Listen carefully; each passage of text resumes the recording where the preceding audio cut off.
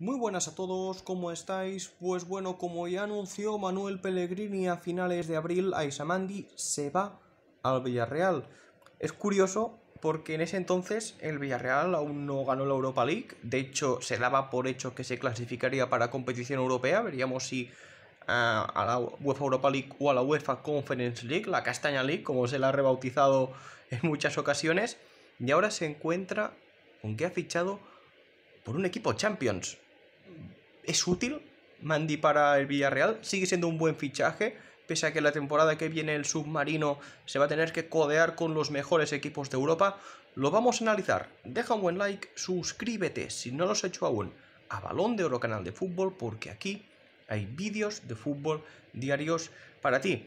Bueno, empecemos hablando del Real Betis, un Betis que evidentemente sufrirá con su baja, un jugador con una buena salida de balón, rápido, certero en pases largos, un jugador que además ha mejorado muchísimo, pero muchísimo estas últimas temporadas en todas esas facetas. Recuerdo partidos desastrosos hace un par o tres de temporadas de Aisa Mandi, o incluso en la primera vuelta de esta, que recordemos que la primera vuelta del Betis esta temporada ha sido como para no verla. Y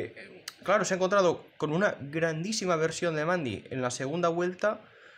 y el Betis que dejará de poder disfrutar de este progreso que ha tenido, que ha sido absolutamente fantástico.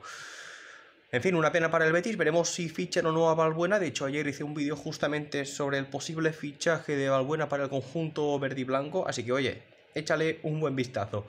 En el caso del Villarreal, una competencia muy sana para un veterano Albiol, un Albiol que ha realizado una fase final de la UEFA Europa League impresionante. Para mí, el man of the match el MVP de la final ante el Manchester United y evidentemente cuando Albiol se lesione o simplemente se le tenga que dosificar a causa de su veteranía, creo que es una gran noticia el poder contar con un jugador como Aisa Mandi. Juan Foyt recordemos que estaba cedido, así que el Villarreal debería reforzar su zaga con otro central, pero Mandi a coste cero me suena muy, muy, muy bien. Para mí un jugador de entrada sin opciones de ser titular, si juega al viol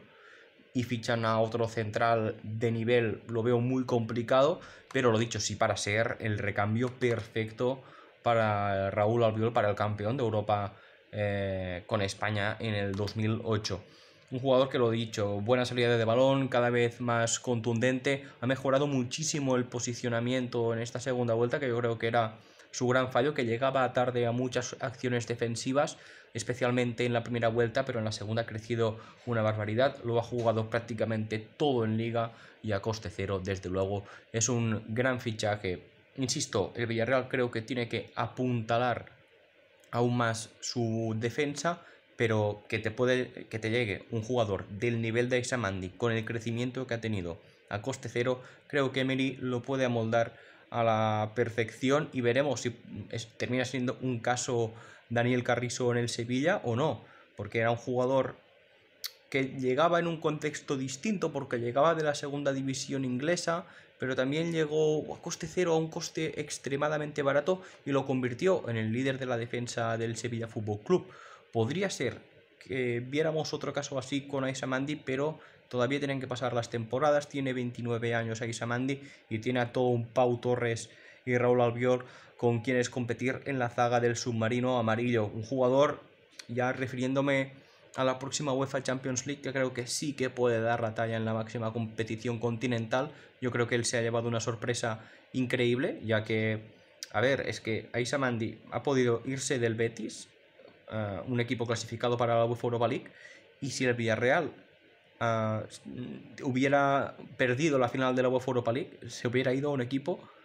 que hubiera jugado la UEFA Conference League, porque terminó, terminó séptimo el Villarreal en Liga. Creo que eso hay que, hay que recordarlo. Por tanto, un alegrón para Isamandi que va a poder disfrutar ante los mejores equipos de Europa y yo creo que, sobre todo debido a su progreso en la segunda vuelta de la liga, creo que se lo merece y ojalá sigamos viendo la mejor eh, versión del ya ex central del Real Betis. Esta es mi opinión sobre el fichaje de Mandy eh, por el Villarreal. Falta escuchar la tuya o leerla en este caso en comentarios. Que me vaya muy bien, deja un buen like, suscríbete si no lo has hecho aún a Balón de Oro Canal de Fútbol porque aquí hay vídeos de fútbol diarios para ti. Y como siempre digo, muchísimas gracias por seguirnos.